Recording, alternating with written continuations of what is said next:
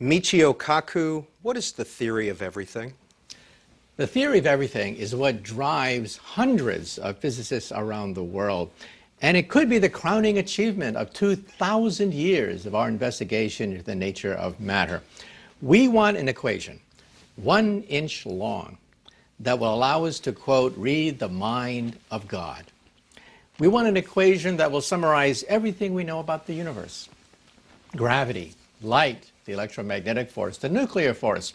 We want all of it into a single equation, which will give us not just the Big Bang, the formation of planets and galaxies, but even the formation of people, maybe even love. All of it in a theory that eluded Einstein for the last 30 years of his life. And today we think we have it. We do. Yeah. Why do we think that? Because we have a theory called string theory. It is fantastic. It is incredible. It has astounded the world of mathematics and physics.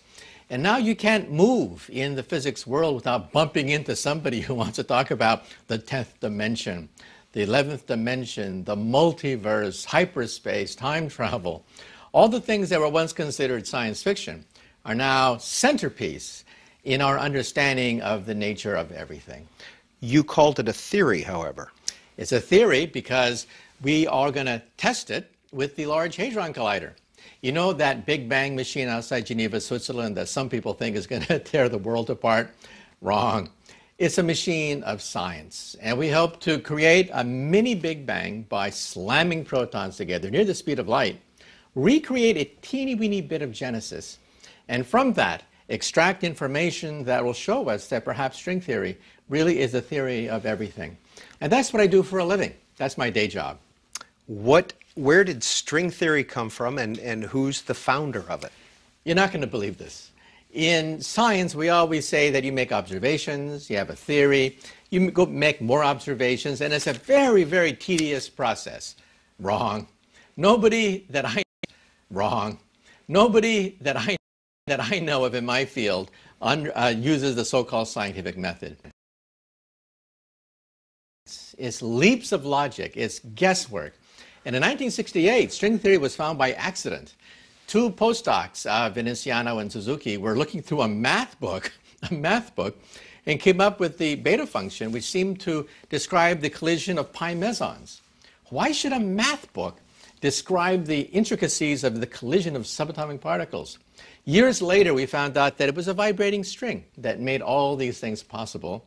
What I did was, me and my colleague created a field theory of strings. What I did was I created an equation one inch long that will allow us to summarize all of string theory, all the equations of string theory. Now it's this huge, gigantic theory, hundreds of people working on it, and we hope to describe the results from the Large Hadron Collider outside Geneva, Switzerland, a $10 billion machine dedicated to unraveling the secret of nature itself. What is that formula? Well, everybody knows E equals mc squared. That equation is one inch long, and that's the secret of the stars. Uh, matter, energy, they convert into each other, and that's why the stars shine at night. That's why we have the energy that lights up the universe. But Einstein was not satisfied with the theory of just energy. He wanted a theory of everything gravity, the electromagnetic force, all the forces wrapped up into a single equation. And then some people ask me, well, so what? I mean, can you get better color television this way? Can you get better cable reception? And the answer is, in some sense, yes. It is a theory of everything. When Newton unraveled the force of gravity, that gave us a mechanics, which gave us the Industrial Revolution. So the Industrial Revolution, in part, was set off by the discovery of the laws of gravity. Then Edison, Maxwell, Faraday worked out the laws of electricity and magnetism. And that gave, uh, gave us lasers and computers and the electric age. And then Einstein and others helped to work out the nuclear force, which lights up the stars. Now, we want a theory of everything, a theory of all forces. We want to create a superforce.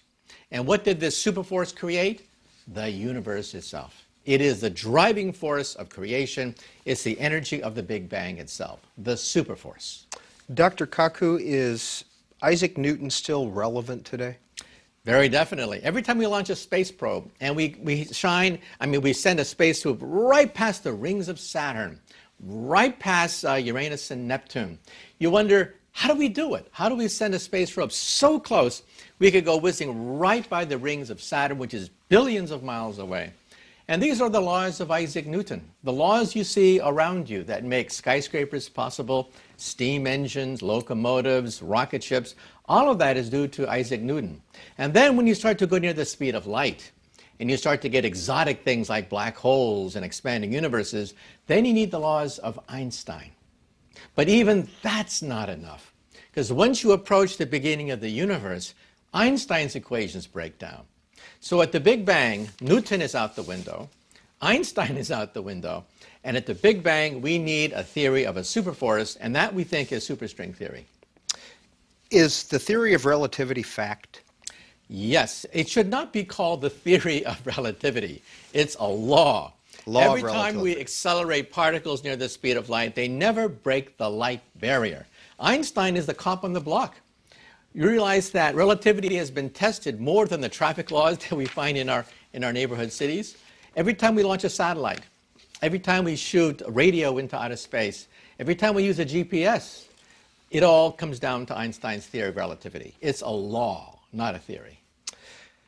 Michio Kaku, in your book Hyperspace, you write All physical knowledge at the fundamental level is contained in two pillars of physics general relativity and the quantum theory.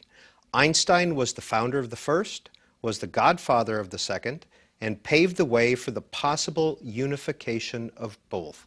What is quantum physics?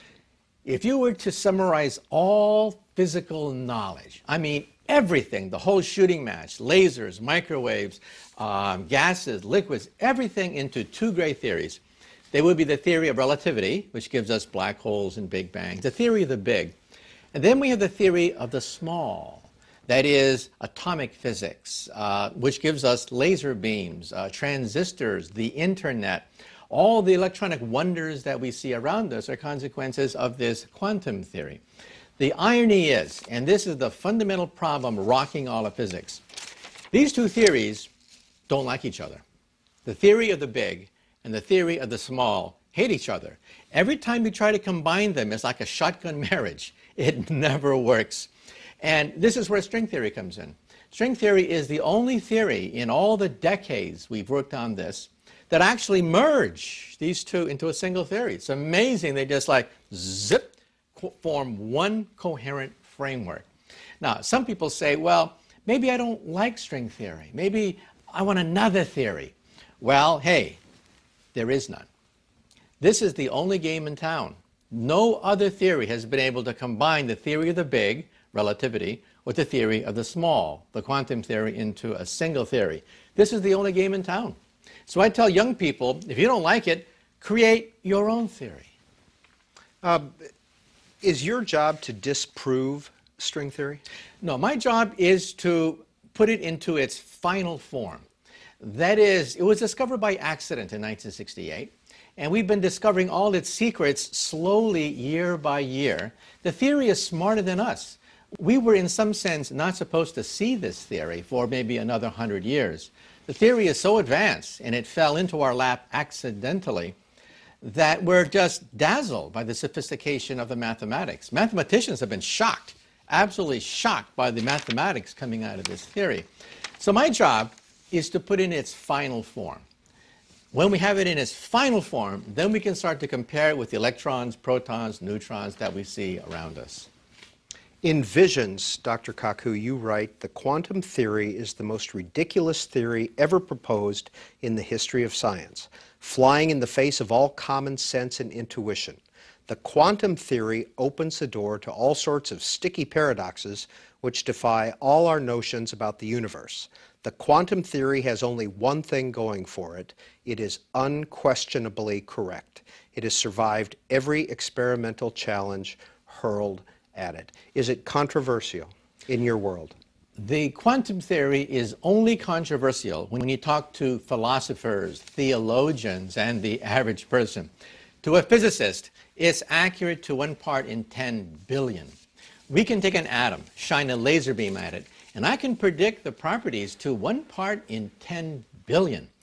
The consequences are the internet, GPS, laser beams, computers, fiber optics, a broadband internet. All of that is a consequence of the quantum theory. Now, you'd think that a theory that powerful would be logical, compelling, and intuitive. Wrong. It is the most bizarre theory ever proposed in the history of science. Einstein couldn't get his head around it. It reduces everything to probability so that there's a probability the electrons can vanish, reappear someplace else. Electrons can be two places at the same time and exist in multiple states at the same time. Now, that's stupid. I mean, how can you possibly exist two places at the same time? How can you be in multiple states simultaneously? Well, get used to it. That's just the way the atomic world is. So why don't I vanish and reappear someplace else, like on, the Mar on Mars or the Moon? There is a probability that I'll do that. In fact, we give our PhD students at our college a question. Calculate the probability that you will vanish and wind up on the planet Mars. Give me a number. You, it turns out you have to wait longer than the lifetime of the universe for that to happen, but it's a calculable number. This is insane. This is absolutely counterintuitive. But the problem is, it's right. That's how our world is constructed. Our world is stranger than you realize at the atomic level.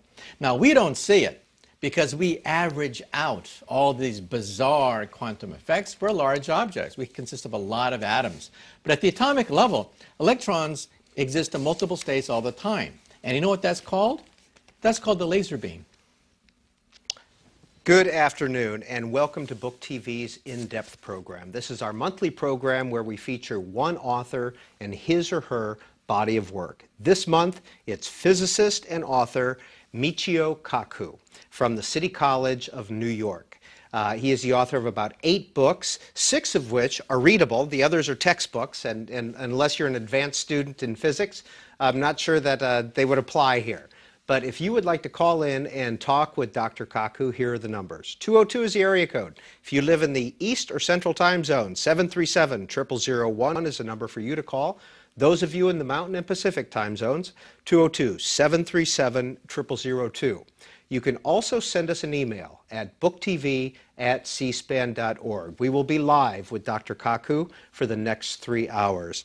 Doctor, you write in your book Hyperspace. First of all, what is hyperspace?